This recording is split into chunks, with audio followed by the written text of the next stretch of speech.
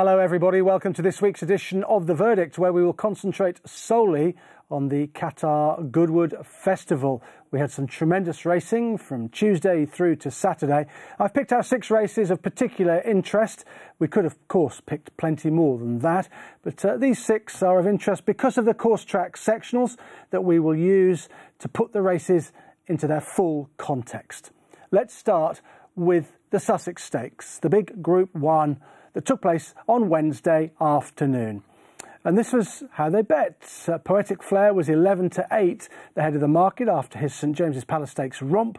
Alcohol Free well backed 7 to 2, Snow Lantern 6 to 1, and Drifter from 9 to 2, and Lope Fernandez 11 to 1. A mile then on ground described as soft good to soft in places. And that was to be the theme throughout the meeting easy conditions, and that has to be factored in when we look at the course track sectionals. Let's send them on their way then in the Qatar Sussex Stakes. And remind you that Alcohol Free was the winner from stall 9, Poetic Flair from stall 2, finished in second place, and Snow Lantern was third. Uh, from stall number five and endured a troubled passage under Jamie Spencer, who was replacing the suspended Sean Levey. Alcohol Free is out wide at this stage, looking for cover and a little bit keen. In the Jeff Smith colours, just tucking in, in behind Poetic Flair. She's right in there, just tucked in at that stage, trying to get cover Oisin Murphy, trying to get her settled. And the reason he's got to try and get her settled was the early pace was not frenetic. It was pretty steady until the sixth furlong, and that's when it really picked up. But the course track sectional show us that they crawled really early on for about two and a half furlongs. They were going no gallop at all. And then when they got to the sixth furlong, they went 11.57. That's where it really picked up and they started to race. Note the grey horse, Snow Lantern, stuck in traffic, and she'll be in traffic for a good while now in behind and probably needs marking up. She could have finished a little bit closer. Maybe connections ruining the fact that they didn't run her in the Nassau Stakes, but they rolled the dice and they took on the boys, and she's run re really well. Here's alcohol free towards the outside of the field, a trouble free passage under Oisin Murphy, about to pick up and come home through the last three furlongs in 37.35. That's it pretty good effort from her in the conditions. She's a fast filly, she's effective at seven furlongs, she's got a turn of foot, and she was too quick for Poetic Flair in second place. And she's gone by him pretty comfortably. He's rallied quite well in the closing stages, but he cannot peg her back. There's Snow Lantern out now, running on quite well late on, and would have pushed for second place, I think, if she'd got a decent run at it. But she just couldn't get out when Jamie Spencer wanted an out, and she's a little bit unlucky. Alcohol Free was just too fast on the day, and I think two things were very much in her favour. One, the ground conditions. I think soft ground really suits her and brings out the best in her. And two, that this wasn't a real stamina test. It was a bit of a test of speed because of that early crawl, and then they wound it up after that. But she's a quick filly, and she was just too quick for Poetic Flair. Now, what of him? Was he below par? I think he was a little bit below par. And my reasoning for that is the ground. The St James's Palace Stakes, his romp there was on very quick ground off a strong gallop. Here he's got slow ground and a steady gallop. Those things have really mitigated against him, I think, on this particular occasion. The winning time, 142.83, not particularly flash, just an okay time, and that's because of that steady early gallop. One horse I'm just going to upgrade, Space Traveller. Keep an eye on Space Traveller, held up, ridden to maybe make the frame perhaps, but the fifth and sixth furlong of this race, he was the quickest. He's clearly flashed his ability in this race, and there'll be more to come from Space Traveller. So what do we do? What, how do we sum this up? Well, it was definitely a career best for Alcohol Free, back on soft ground. A Timeform time figure of 119 tells us all we need to know about that. It was a very good performance from her. It wasn't an end to end gallop, but the pace did pick up at halfway. That six furlongs where they really started to get going, and it did turn into a dash thereafter. She finished her race off well, despite being keen early on. She was really quite free under Oisin Murphy until he brilliantly got her in behind horses and got her settled. So that she finished her race off well is real credit to her, given that she used up a bit of petrol in the first two furlongs.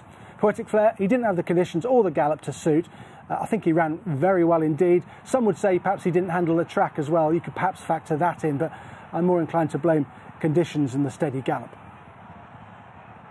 The winner could go for the international at York. Entered in the Sprint Cup too. The Moyglare, I understand, is a possibility as well uh, in Ireland.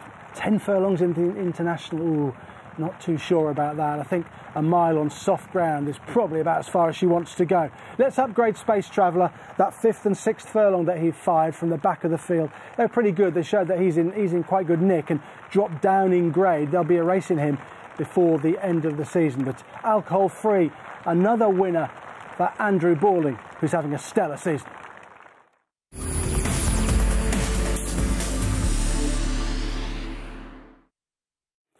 Time to have a look at the Nassau Stakes and now, fillies and mares. And, uh, well, Snow Lantern didn't run, but uh, Audarya did.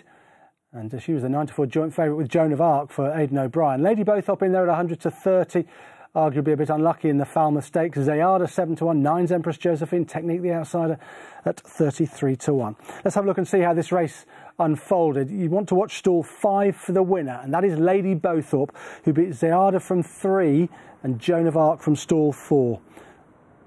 We'll let them jump and have a look at how this race unfolded. It was a steadily run Nassau Stakes. It didn't pick up until just about halfway. They went really steady early on. Uh, Lady Bowthorpe tucked in, she's second last at this particular point, travelling strongly throughout this race, and she shows a bright turn of foot to win and proving that she stays 10 furlongs as well. The pace being made by Joan of Arc in the early stages of the contest, who ran pretty well.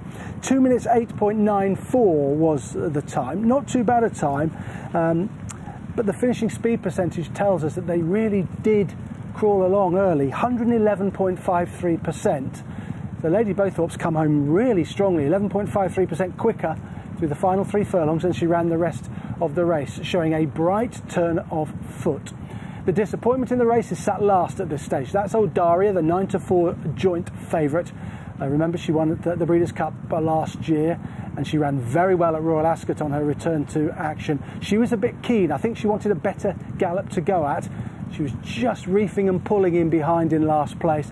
Uh, she was positionally compromised and she probably used up a little bit uh, too much energy in the early part of the contest. Here's Zeyaadah in the Shadwell colours, cruising up into contention. The pace is now lifting and it'll lift to a final three furlongs for the winner of 34.97. So they really have sprinted home in the last three. Zeyaadah probably just about going best, but Lady Bowthorpe has got dead aim on her towards the outside. Kieran Shoemark he can go where he wants here. He knows he can angle to the outside. He's not going to get trouble in running. And she really picks up in impressive fashion. Audarya trying to follow her through.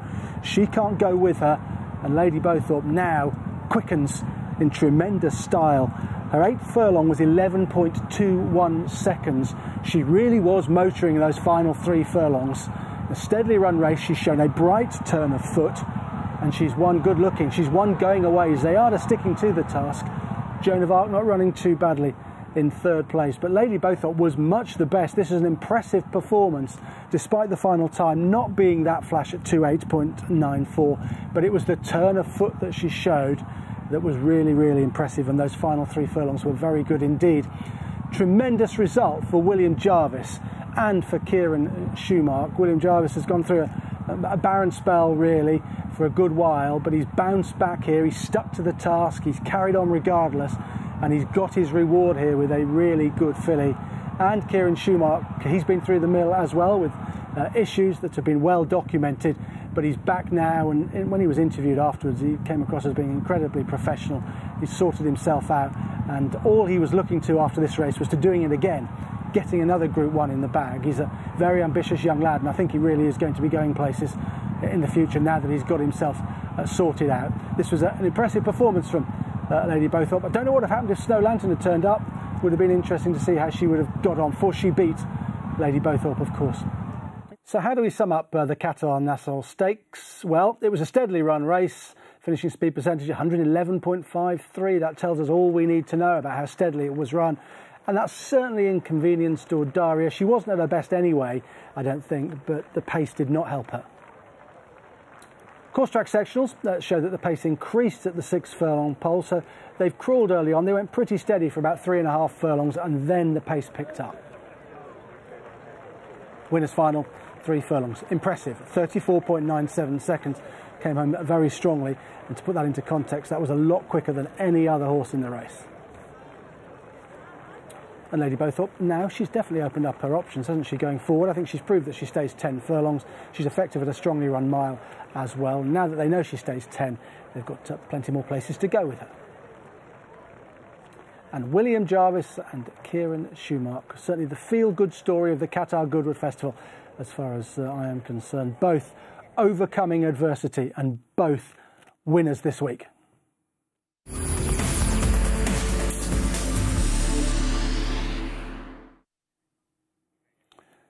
Time now to watch what I thought was the best performance at the Qatar Goodwood Festival from the best horse that we saw all week. That's somewhat a, a controversial statement, but I think the best horse we saw all week was Baaeed. It was the two to five favourite to win the Bonhams Thoroughbred Stakes. It's just a Group Three over a mile. El Drama eleven to one, 11's tactical and 12s and bigger the rest. And it was Baaeed in a romp. He is a monster. He really is a brilliant racehorse, this fella, been brought along very steadily by William Haggas, but he's a Group 1 horse in the making. He jumped from stall 2. He beat El Drama from 5 and Tasman Bay from stall number 8. Let's just see exactly what he did to this field here. Now, if you were just to analyse the course track sectionals and the final time, and not know really what this horse is capable of, you wouldn't be that impressed. It was an, just an okay performance on the clock. One minute 41.2 seconds is just all right. But the way this horse travels, the way he goes about his job, I think marks him out as being a top class performer. We first highlighted him here on the verdict when he won at Leicester, when he took his maiden there and we suggested that he might be a Group 1 horse in the making. Well, now, I'm not suggesting it. I'm damn sure that he is a Group 1 performer. There he is in the Shadwell colours. He's just got one horse behind him. And what's so impressive about what he does here is how easily he makes his ground and how easily he goes past his rivals. And they're no mugs, these rivals, El Drama and Tasman Bay, are good horses in their own right, if only Group 3 level.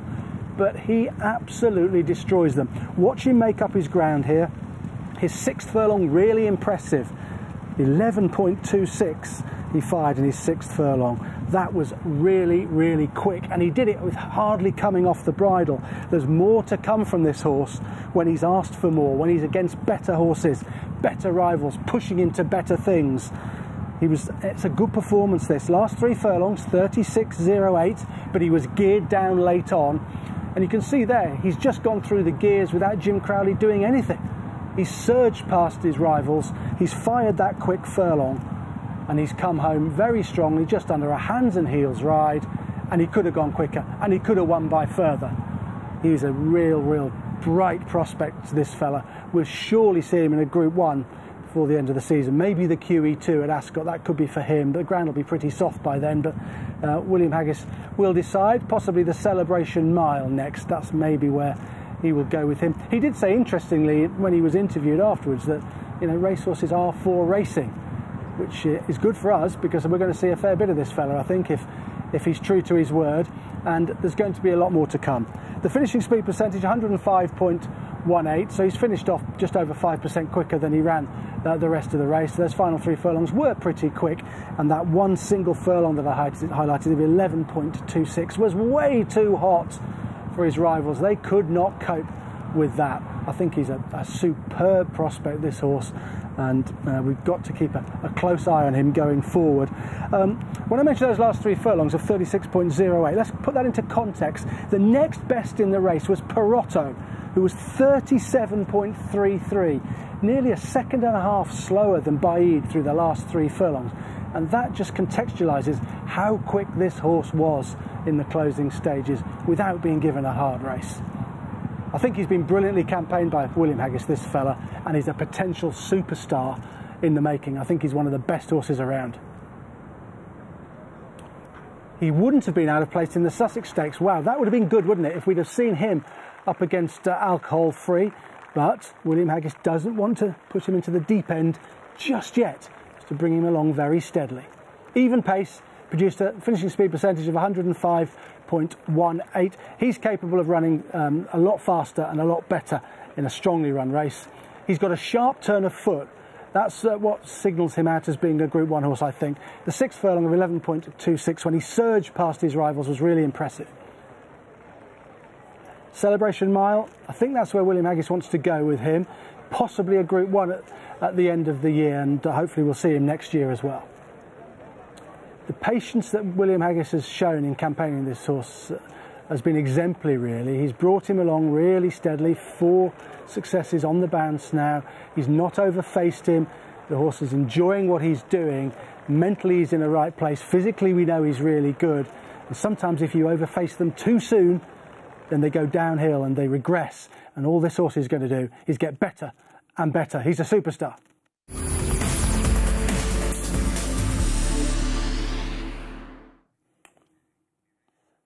Here on the verdict now, we're going to have a look at the Unibet Golden Mile that took place on Friday afternoon. And it was a, a good looking race on paper, a classy looking handicap. 5 to 2 favourite and very well backed all day. Path of Thunder, 13 to 2 Magical Morning. Roscollin, 13 to 2. Johan, 15 to 2. And Maydanny in there at 8 to 1. Typically, this race was dominated by horses drawn low. The winner, as we send them on the way, is in the Shadwell colours. Maydanny from five. Roscollin from eight was second. Escobar from nine was third. Johan was fourth from two. And an eye catcher, a racing TV tracker horse for you from 19. Bedouin Story finished in fifth place. That was some effort from him, having been wide throughout the race, and more of him a little bit uh, later on. Path of Thunder was most disappointing. He was keen. He's against the rail there in the Godolphin blue with the white cap in the headgear. Um, he was very impressive when he won at Newmarket uh, prior to this, and he had the, the perfect sit just in behind Shalier, the leader, the grey horse. But he didn't pick up. I'm not sure he quite liked uh, the hurly burly of a, a big field and being stuck down on the inside. At Newmarket, he was always in the clear and uh, and he did what he wanted. But here, it just didn't pan out for him whatsoever. Maydanny in the Shadwell colours, in about sixth place there, and behind him Ross Collin. just tracking him through the black cap, the orange sleeves. He's not going to get the clearest of runs in the closing stages, and was perhaps a little bit unlucky. But Maydanny, ridden patiently for a change, he's often ridden quite prominently, but he's just dropped in behind the leaders on this particular occasion. Now he's looking for running room in the striped Shadwell cap but once he gets out, he runs on really well. Now, this was a strongly run race. Horses in front are starting to come back. He's found a gap down against the rail and away he goes. Meanwhile, Ross Collin is having to look for room and eventually he has to switch and he loses a little bit of momentum. Now he's tracking Maydanny through on the rail and he'll run on to his credit very strongly in the closing stages. This race, the final time was 140.49.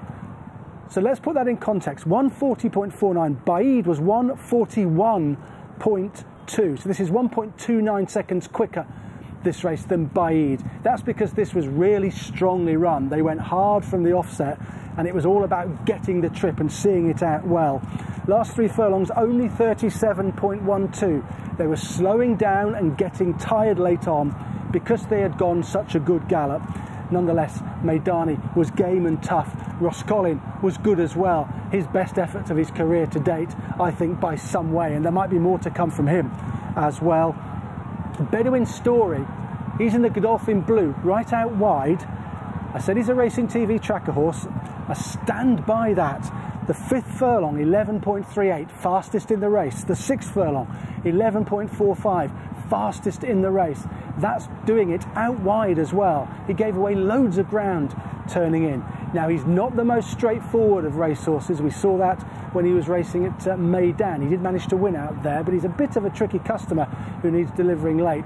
But he was undoubtedly compromised by stall 19 on this occasion, and you can mark him up. Maydanny and Roscollin, well, they're top notch handicappers. Uh, they can easily cut it at a listed level, you would have thought, and there's going to be more to come from, from both of them.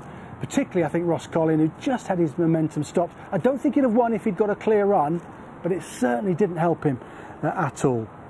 So let's sum this race up then. This Unibet Golden Mile handicap, it was very strongly run. That's the first thing to say. It was a competitive handicap on paper. It lived up to what you saw in the form book, and it will be very strong form this going forward. Quick final time, 140.49. compared to Baaeed, 141.2. Now, that, that's not to say Maydanny would beat Baaeed if they met in a race, but it's just telling you how the races were run. Roscolyn, sectional upgrade. He was faster through furlong 7 and 8 than the winner. So the second last furlong and the final furlong, he was quicker than the winner. So he really could have been closer if he hadn't been hampered. Very strong form. You've got to follow it. There's lots of horses to take out of the race, I think, particularly perhaps Bedouin's story. If he gets everything going his way next time up, he'd be a horse to be with. Winner runner up, they're very useful milers. There's no doubt about that. This is a really strong race. They could cut it at listed company, possibly Group 3 company. A really top notch handicap. There you go. Stick him in your tracker. Bedouin story. Um, I know he's a bit of a tricky customer. He might just worth being with next time up in a, in a decent handicap where he can get some cover and a better trip.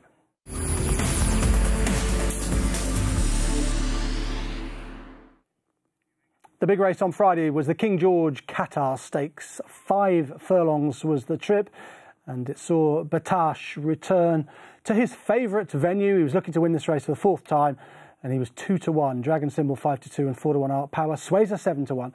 16s and bigger the rest. And uh, well, unfortunately, it's the last time we're ever going to see Battaash because he was retired after this, after an illustrious career. The race went to Suesa from stall number seven, Francois Rohaut, the trainer, trains uh, this filly down in Pau in southern France. Dragon Symbol second from 11, Glass Slippers from five third, and Arecibo fourth from stall number 12. Send them on the way here. What did we see in this race? Well, what we saw was a few interesting things, really. One, they wanted to eschew this stand side rail. And evidence of the meeting from Tuesday to Friday was that you really wanted to be on the rail. That's where you wanted to make your challenge or where you wanted to race. But they wanted to come uh, down the middle. They went very hard early on. They went a very strong pace. And Battaash, on the left hand side of your screen, the Shadwell colours, he was up with that really strong pace. And importantly, they were running into quite a strong headwind as well. So they've gone overly hard into a headwind. And it has set up beautifully for Suesa. Held up by William Buick now angled to the better ground towards the stand side, and then she quickens up really well to pick up the tiring front runners who've done far too much in the early part of the race. And she'll stay on too strongly for Dragon Symbol, who, like Suesa, had got a little bit of cover. Glass Slippers got cover too. She's on the far side. She's making a seasonal reappearance, the Abbaye winner. She's run on quite well uh, late on. But this is a very good filly, this winner, but she did get the perfect setup so whilst I think she's a massive player for the Nunthorpe at York and for the Abbaye, which I think is her ultimate target, not going overboard about this performance because I think everything dropped her way. She's clearly well thought of. She went off 9 to 4 favourite for the Commonwealth Cup at Royal Ascot where she disappointed. That was a stiff six. This is five furlongs with a bit of dig when they went very hard, and I think that suits her uh, ideally. Final three furlongs at 34.12 seconds. It's about what you would expect, really. That's what she was able to fire. Uh, the fourth furlong was the quickest. That was her. She fired a 10.98, so the penultimate furlong was pretty quick. That's where she's quickening up there, from the two to the one. And when she got to the one, uh, she then came home a little bit slower than that, but you'd imagine that that would always be the case. Finishing speed percentage 104.37. Uh, percent. so what happened in this race was that they went bonkers early on. They went really, really hard she was sensibly dropped in, got cover, brought to the best part of the track to challenge, and she ran away and won pretty comfortably ultimately. She's the, the, the new sprinting queen, I think you can say. Um, Battaash, well, unfortunately, we will see him no more. There was a lot of debate immediately after the race whether they should roll the dice uh, one more time, but he's had a fantastic career and uh, they've decided to draw stumps as far as he is concerned. But he was compromised a little bit by that fast pace and, and running into a headwind and, and going head to head with pace setters early on. So they went off too hard, they're into a, a strong headwind, and it really did set up for a horse that was ridden the way Suesa was. Change of tactics, yeah, I think it was a very sensible, sensible change of tactics from the Rohaut team, and uh, William Buick rode it very well. He's riding at the top of his game at the moment. She got the ideal setup, and Buick made the most of it stand side advantage. I think it did help the winner uh, to a degree. I don't want to take anything away from her. She's brilliant. She's really, really good. And she could turn out to be one of the best sprinters we've seen for a long time. However, she was helped here by getting the perfect setup and coming stand side. He's retired, yeah, he's gone now. We won't see him again. A scintillating career. He won 13 races, including four Group 1s. At, at his best, uh, he was an absolute rocket. The winner, well, she's entered in the Nunthorpe. That would be an obvious target. A quick five uh, York, and particularly if there's been a bit of rain around, I think that would be uh, where they'll probably go with her. But ultimately, the, uh, the Abbaye is the, the, big target, I think, for Francois Rohaut at uh, Longchamp five furlongs there where you've almost guaranteed cutting the ground. Uh, that's her game. And now they've found out how to ride her, there might be more to come.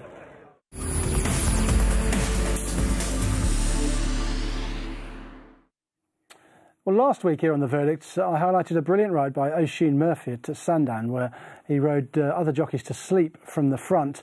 I'm going to do that again here now. Uh, he's at it again, Murphy. Uh, it was in the Queen's Plate, the Glorious Stakes on Friday. It was over a mile and a half, and he was on Passion and Glory, the winner, who was 2 to 1. Outbox 5 to 1, 11 to 2, Euchen Glen without a fight, sevens, and eights and bigger.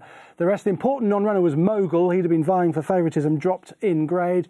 He was pulled out on account of the soft conditions. And the big question coming into this race was was Passion and Glory going to stay? Not really a mile and a half horse, and all the evidence that we had in the form book, he'd won very impressively at Ascot prior to this. Would he stay? Well, I think he won, but didn't stay, if that makes sense, because of what Oisin Murphy did. Let's have a look. He came out of stall nine in the Godolphin Blue for the Saeed bin Suroor team. He's beaten Euchen Glen. What a season Euchen Glen's had. He jumped out from stall number five, and Foxtail came from stall four. And what Murphy's decided to do on a horse who they didn't know would stay a mile and a half, particularly in these conditions, was that he was anxious to do what he wanted out in front. He wanted to go the pace he wanted, and the pace he wanted to go was as steady as possible. Now he's angled across, he's got to the front, and he's just rating this horse down according to the course track sectionals. He's trying to go as steady as possible and save as much fuel as he can for the closing stages. It was very, very steady in the early stages of the race. The first four furlongs, uh, they crawled along. For example, the seventh furlong, they went 14.16. Murphy was really, what do they say in America? Walking the dog out there. He was going as steady as he possibly could. He then picked up thereafter in the home straight gained a bit of an advantage and then was clinging on a little bit late. But this was tremendous stuff. To get this horse to win at a trip that I don't think he stays was a brilliant effort from Oisin Murphy. Euchen Glen, well, he's out the back, he's always held up, and he was compromised in terms of his position. That's how they usually ride him. But he needs a stronger gallop to go at Euchen Glen. Remember when he won at Sandown last time? They went bonkers up front and he picked them up late and ran on strongly up the hill. This wasn't for him, this steady early pace. He really needed them to go a bit harder early on. I'll give you the last three furlongs. 38.01 for the winner. He's in front. 37.42 for Euchen Glen. So he's come home through the last three furlongs much quicker than the winner but he spotted him, what, four, five lengths in the early part of the race and just couldn't make that distance up uh, late on. But he's run an absolute blinder, Euchen Glen. Now, Passion and Glory, the 10th furlong was 12.02. That's when Murphy really wound it up. But he still had two furlongs to go. And those two furlongs were slow. He was getting slower and slower after that furlong. Second last furlong, 12.58, then 13.41 for Passion and Glory. He's absolutely on fumes in the closing stages, but he clings on because Euchen Glen just had too much to do. And despite the fact that Euchen came home quickly, not quickly enough to gain an advantage over Passion and Glory. And that advantage had been Oisin Murphy's brilliant front running ride. Look at that, he's just clinging on in the end. That was superb from Oisin Murphy dictating out in front. Then he picked up in the home straight, nicked a couple of lengths, and then he just hoped he'd cling on, and cling on he did uh, late on. Finishing speed percentage 106.37, so 6.37% quicker through the final uh, three furlongs than the rest of the race, and that's because Murphy uh, went very, very steady early on. If they'd gone a strong gallop here, I've absolutely no doubt that he wouldn't have won Passion and Glory. I think Euchen Glen would have won. He remains in tremendous form for Jim Goldie. I think he would have picked him up, but Passion and Glory is a good horse. He fired a really big Timeform speed figure when he won at, at Ascot. That was over a mile, remember. He was quick there. He looked really, really quick. He looked very good indeed. Uh, and I think he's certainly a Group 3 or Group 2 horse, but he wants to come back in trip. He wants either a mile and a quarter, which he's won at before, or a strongly run mile. Not sure they'll go a mile and a half again with him. And if they do, well, he's going to be incredibly vulnerable because he'll never get a setup uh, like this again, I don't think. It was brilliant from Oisin Murphy. He was at the top of his game along with William Buick, but this was, this was good from the front and he just clung on. So let's sum this up then. It was, it was just a good front running ride from Oisin Murphy. I think good underestimates it a little bit. It was brilliant. Does the winner really stay? I'm not having it. I've got a big NS next to him in my form book, not stay. Steady early gallop, yeah, it was. That's just a, just to highlight how steady it was. Could have given you other furlongs that were very similar, that were 14s, but 14.16 in furlong 7 when Murphy was just doing what he wanted out in front. He was on fumes the last two furlongs, 12.56, and then 13.41. He was getting slower and slower and slower. There was nothing in the tank whatsoever as he crossed the line. Back in trip on better ground, the winner will be seen to much better effect. I think he's, I think he's really, really useful. This horse. I think there's tons more to come from him, but he's, he's got speed. That's his major asset, and that's what they need to use. Here's an important point. He doesn't really stay. He had a hard race. He still managed to win. Congratulations to Saeed bin on landing the Glorious Stakes. But he's had a hard race. He was all out in the closing stages. He wouldn't want to come out quickly again. He'd be, he'd be a, a bounce candidate for sure if we saw him quite quickly. So the pause that refreshes and Passion and Glory will be back. That's it for this week's verdict. I hope you've enjoyed looking back at uh, those six races. Baaeed uh, was the superstar. We said goodbye to Battaash, and perhaps we saw a new sprinting queen. Thank you.